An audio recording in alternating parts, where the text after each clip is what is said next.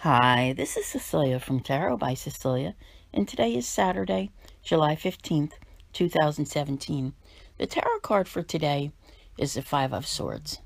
You know, this is a, a very powerful card in its meaning and in its interpretation. And I think it's one that we all need to assess ourselves from time to time. I'm reminded of a story that I'm even hesitant to repeat because I don't like to think of this particular person.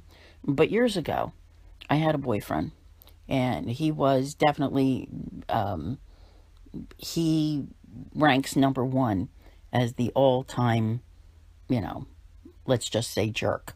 Okay, so, you know, here's the thing he would occasionally it, eh, try to bait me into arguments, and I just never I just like I was always totally aloof about it and just let it go.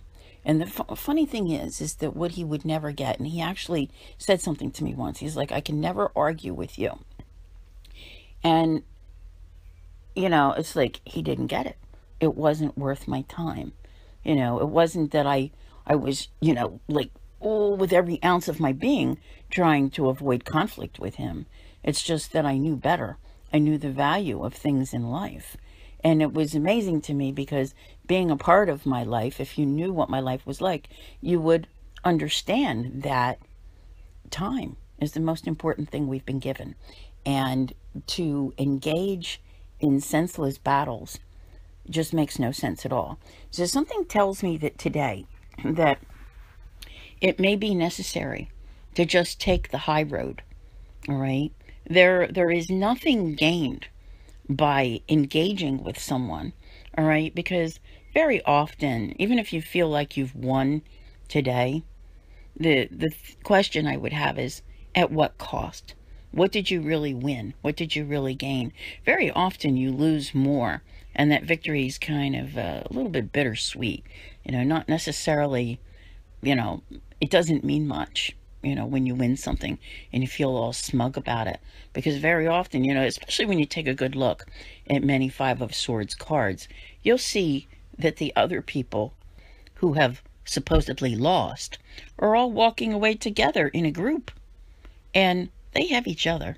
And you're standing there alone. You know, you know the saying, it's lonely at the top. And keep that in mind.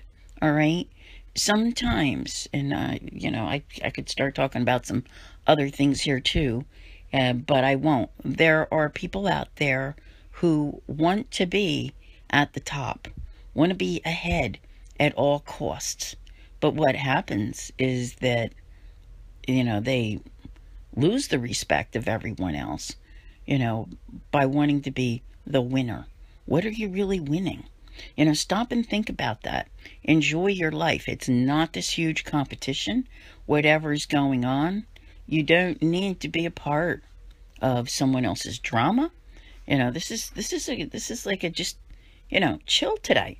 Don't be, you know, trying to bait someone into an argument. And by the same token, don't let it happen. Walk away. Do not engage. That is my motto. And it is a very good one to live by.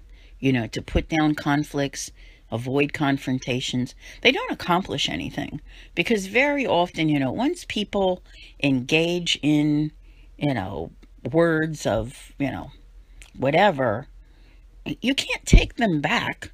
Once they're out, they're out.